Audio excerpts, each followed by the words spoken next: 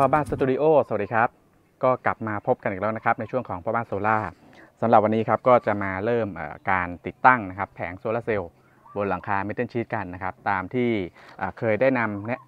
อุปกรณ์สำหรับการติดตั้งไปแล้วนะครับอ่าก็เดี๋ยวเบื้องต้นก็จะมาทำการอถอดน็อตแล้วก็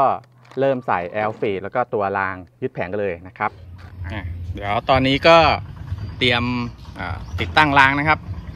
นะ ตอนนี้กำลังลองกะวัดระยะดูก่อนนะ อันนี้เราเใช้ตัว l f e e d นะครับ แค่ 8 เซนนะ ตอนแรกว่าจะเอา 15 เซนราคามันโดดไปเยอะพอสมควรเลยนะครับนะอันนี้ตัวละ 30 15 เซนนี่ตัวละ 50 บาทนะครับก็เอาแค่นี้พอแล้วกันนะ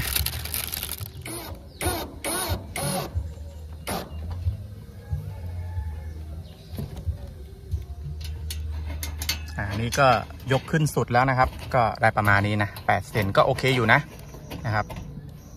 ก็ยังพอมีช่องให้ระบายความร้อนได้อยู่นะอ่าโอเค มานี่ครับอ่าแอลฟีดแบบ8เซนนะยึดกับรางครับก็ความสูงก็พอได้อยู่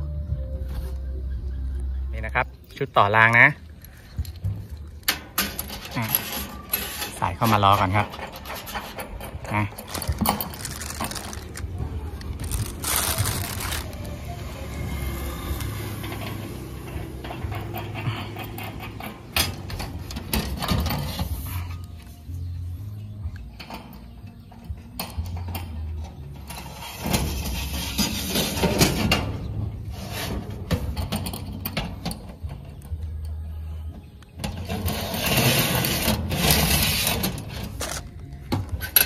ยกนิดนึง โอเค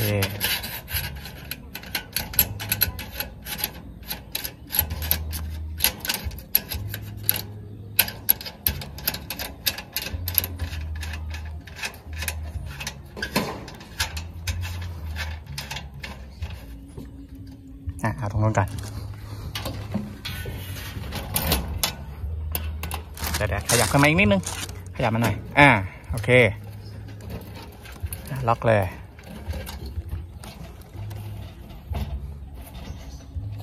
โอเค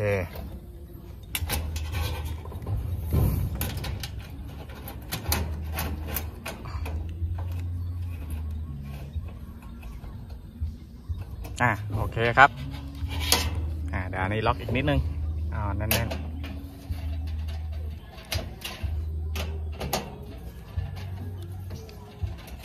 เคครับ แน่นหนา แถวแรก เรียบร้อยครับสี่เส้นนะ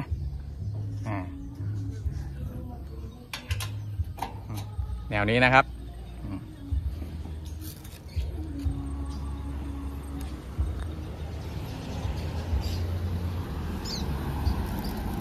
อะก็ติดตั้งเฉพาะตัวโครงเสร็จเรียบร้อยแล้วนะครับอ่าทั้งหมด 4 ท่อนเนาะแถวละ 4 ท่อนนะครับ ก็ตรงนี้วางได้ทั้งหมด 8 แผงนะ เดี๋ยวผมต้องต้องสั่งมาอีกอันหนึ่งนะครับ เพราะว่าผมจะต้องวางทั้งหมด 9 แผงนะครับอ่าก็ตอนนี้ก็เอาแค่นี้ก่อนครับ 2 ชั่วโมงกว่านะอ่า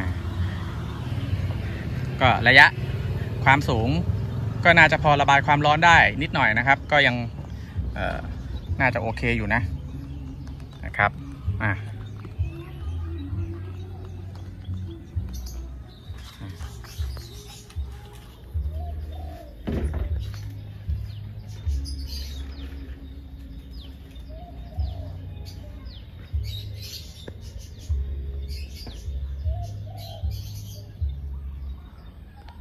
ต่อไปเราก็จะใส่เป็นมิดแคมป์นะครับ เข้าไปในรางนะ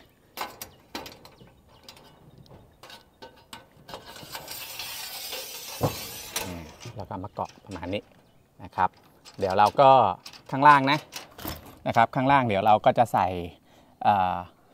ตัวแผ่นยึดกาวเพิ่มเข้าไปด้วยนะครับ ให้มันเชื่อมกาวกันนะ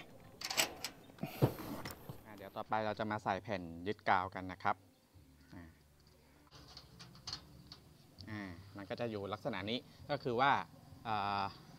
มันจะต้องเกยทั้งสองแผ่นนะครับ เกยอยู่บนจุดนี้นะครับ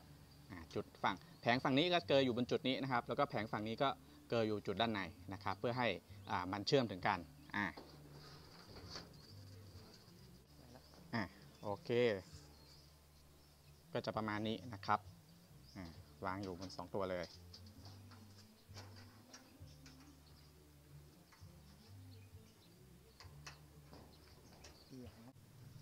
ก็จะเกยอยู่ประมาณนี้นะครับ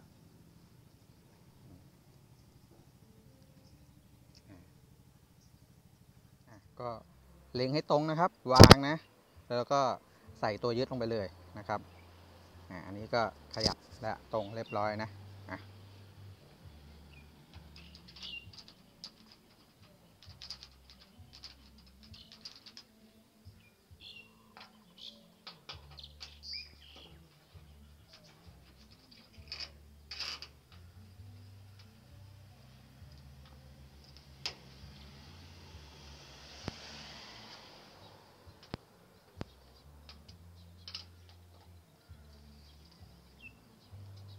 ก็จะใส่ end cam นะครับ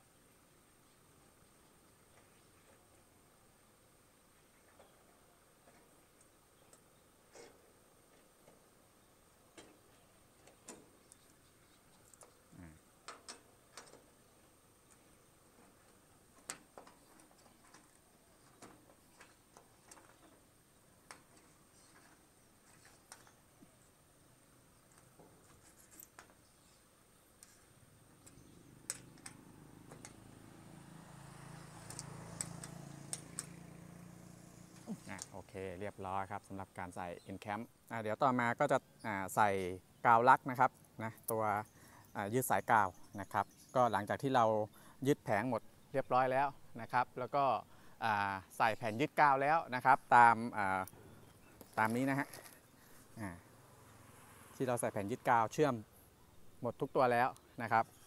ก็มาใส่ในส่วนของกาวลักนะครับอะ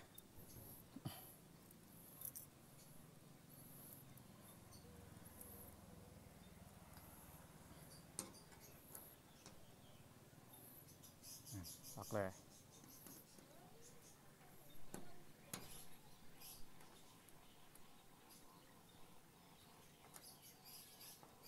ขยับออกนิดนึงให้ชิดริมอาชิดริมน่อยจะได้เหลือใส่สายเข้าได้ ร้อยสายเข้าได้ โอเค และ สายเส้นมันใหญ่ สายเบอร์สิบ อะ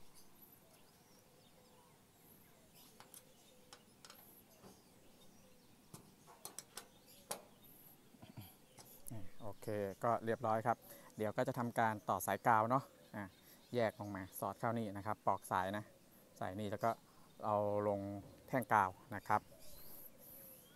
ไปก็จะเป็นการใส่คลิปล็อกสายนะครับนะก็ผมจะเอาคลิปนะใส่แอบไว้ข้างใต้นี้นะครับ ลักษณะมันก็จะอยู่อย่างนี้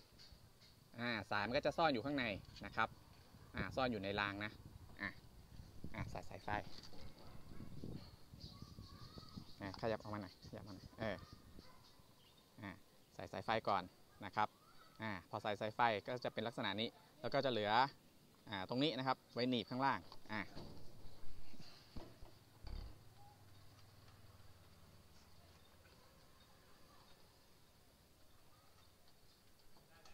โอเค เรียบร้อยครับ ก็ล็อกซ่อนเรียบร้อย อะผมจะใส่แค่ แผงละตัวพอนะครับอ่าต่อไปก็ขยับมาแผงที่2นะครับ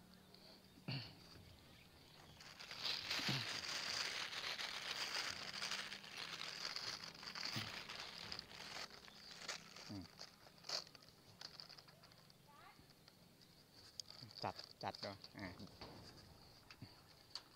ดึงแอบมาข้างล่าง แล้วก็กะตำแหน่งตรงนี้มา ขยับมาสักตรงนี้ก็ได้อ่าใส่กิ๊บ ล็อกสายนะครับ แล้วก็เอาเน็บข้างใต้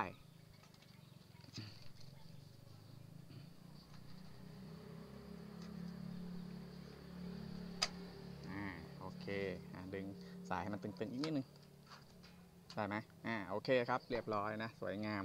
สายก็จะแอบอยู่ข้างใต้นะครับ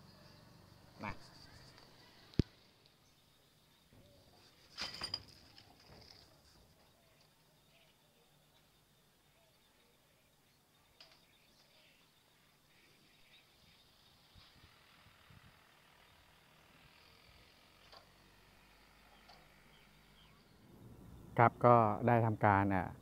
ติดตั้งเรียบร้อยแล้วนะครับ ในส่วนของอแผงโซลาร์เซลล์นะครับอ่าก็ผมไม่ได้เดินท่อเนาะก็ทำการเหน็บสายไว้ข้างล่างนะครับตีกิฟแล้วก็เหน็บสายเลาะเลาะเลาะเลาะมานะเอาแอบใต้แผงมานะครับอ่าแล้วก็อ่าพอมาตรงนี้นะครับอ่าสุดปลายเนาะก็ เอาเดินเลาะใต้หลังคานะครับ ยังไม่ได้เดินท่อเนาะผูกอ่าเคเบิลไทยไปก่อนนะครับก็ผูกยาวไปนู่นเลยนะแล้วก็เอาเข้าบ้านนะครับอ่าก็ในส่วนของอาการติดตั้งนะครับก็มีประมาณนี้นะครับ แล้วก็เหลือแค่ในส่วนของอาการอ่าเดินสายกาวนะครับ เดินสายกาวของแผงโซลาร์เซลล์นะก็เดี๋ยวรออติดสายกาวนะครับ แล้วก็ต่อลงดินอีกทีหนึ่งนะครับอ่า ซื้ออุปกรณ์ซื้อสายมาเรียบร้อยแล้วนะครับสำหรับวันนี้ครับพ่อบ้านโซล่าก็ต้องขอตัวลาไปก่อน ฝากกดไลค์ กดแชร์ กดติดตาม เพื่อเป็นกำลังใจให้ด้วยนะครับสำหรับวันนี้ สวัสดีครับ